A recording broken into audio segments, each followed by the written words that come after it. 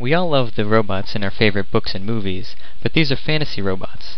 This video will show you what the robots of today are really like.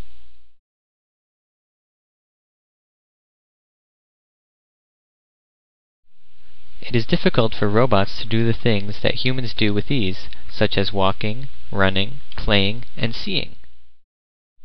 Most walking robots of today don't walk like people. They are slow and inefficient. Believe it or not, this robot is state of the art in trying to get a robot to walk like a human. It is also difficult to get robots to play. And even recognize a friend's face.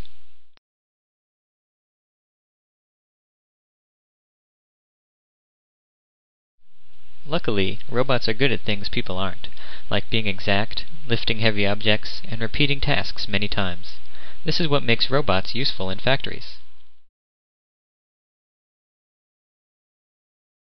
These industrial robots aren't really taking away jobs from people because they can do tasks that people cannot.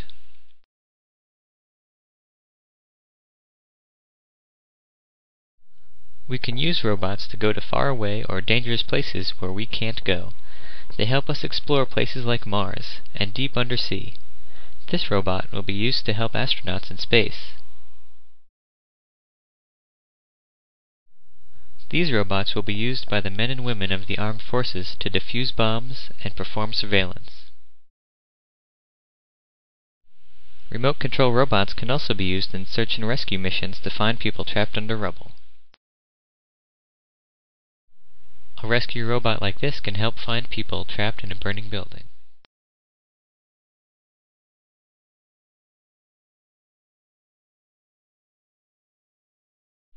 Recently, robots have found their way into our homes by doing chores we don't want to, like vacuuming and mowing the lawn.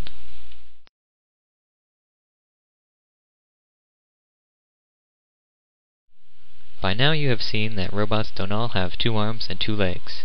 For flat surfaces, wheels are a better choice for robots. Four or six wheels add stability in uneven terrain. A robot with two wheels can turn sharply and quickly. Tank treads allow a robot to go upstairs and over rubble. This robot has six legs for smooth walking over even the roughest of terrains.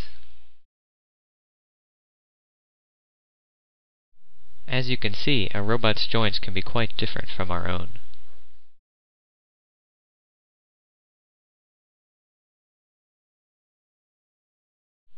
Roboticists often get inspiration from nature.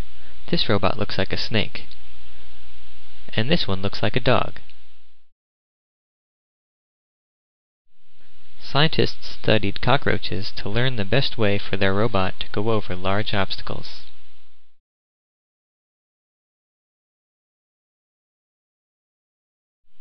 The click beetle was studied to learn how to make this robot jump.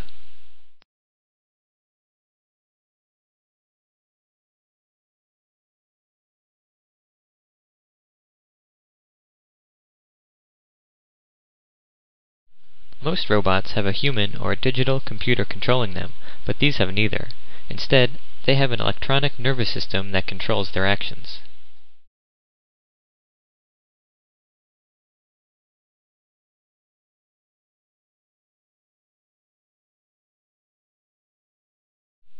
Robots don't always mimic nature. What would you call a robot like this that moves like nothing else on the planet? This is a modular robot, which means it is made out of many similar building blocks. This is useful because the robot can still function if one of its blocks happens to break.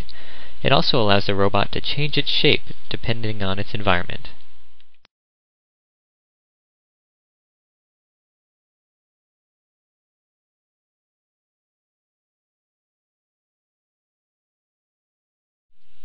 We can get robots to play games too.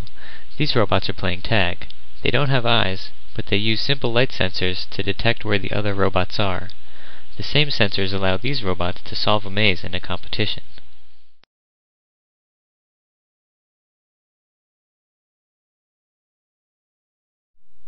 Once a year, a large international robotic soccer competition is held.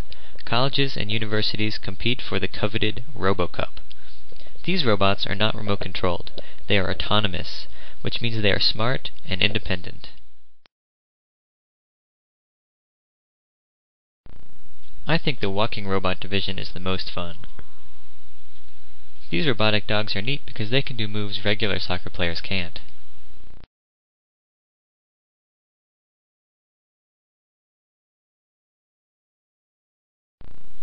Have you ever seen a move like this before?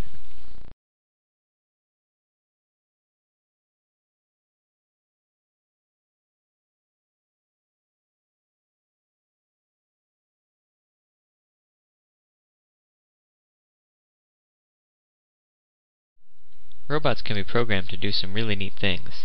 Here are some cool robot dance steps.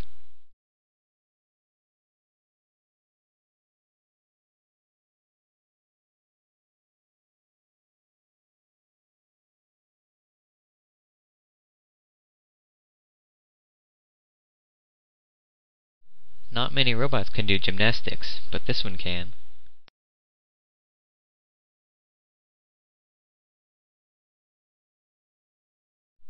These four robots were programmed to do a coordinated dance to music.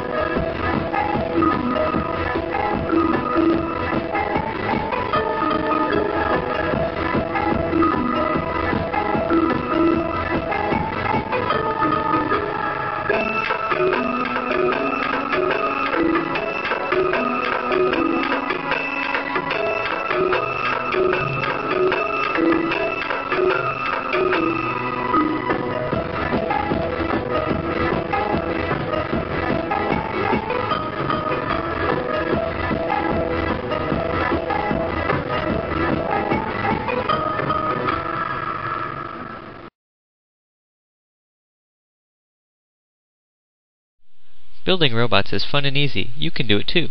Here are a few of the robots I made. This one uses light sensors to avoid hitting walls. This is my version of a snakebot. This robot learned what to do when it hit a wall.